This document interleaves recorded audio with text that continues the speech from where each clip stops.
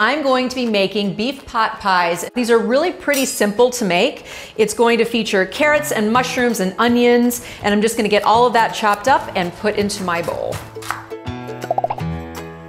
So as far as the beef, you can use stew meat if you really want to, that pre-cut stuff that's in the grocery store, but it's really tough. So what I have is really just a sirloin and I'm going to go ahead and cut this into one inch cubes. And I want the cubes to be relatively small because they're going to be sauteed quickly in that bacon fat, and then we're going to put them in ramekins to bake the rest of the way. But I want them to be able to cook all the way through. I'm tossing my beef cubes with just a little bit of all-purpose flour, and I'm gonna go ahead and chop up my bacon. Into my pan, I have a bunch of bacon, it's just four slices chopped up. I'm gonna render all the fat out of the bacon and get it all nice and crispy. Then I'm gonna toss in my onion.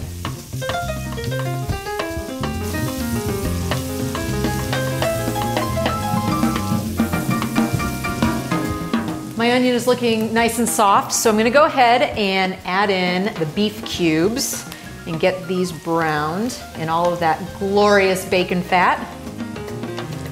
So the flour is going to allow the beef to get golden and crispy, but it also is going to serve to help thicken up the sauce when we add in our beef stock.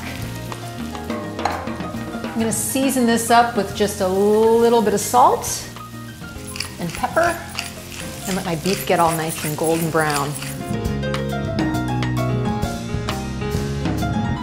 So I've added in some beef stock and you can see what the flour has done. It's already thickened this up so that it's really rich. It's delicious looking. Smells fantastic. I'm gonna add in now my carrots and my mushrooms and let those simmer. And then I'm gonna add in some tomato paste, Worcestershire sauce, some thyme, and also my beer. And I'm using an IPA because I want that bitterness. I don't want it to be too sweet. If you wanted something a little bit sweeter, you could use a stout, but I want that bitter edge to be added to the flavors here in the pot. If you want the full recipe, just head to feastmagazine.com. We have all the recipes there. Last addition is just some peas. It adds a little bit of sweetness to essentially what we're making is a stew, uh, which is the base of the pot pie. So I'm gonna put in a little bit less than a cup.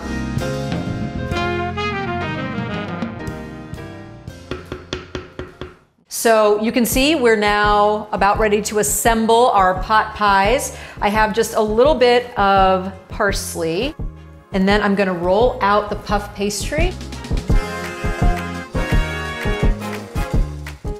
All you wanna do is spoon your stew into your ramekins. So I'm gonna use my extra ramekin to measure how big I want my pastry to be. Just put it right on top.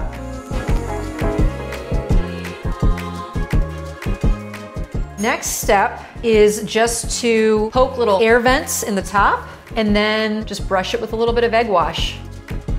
I have my oven set at 375 and these are just gonna bake until they're nice and golden.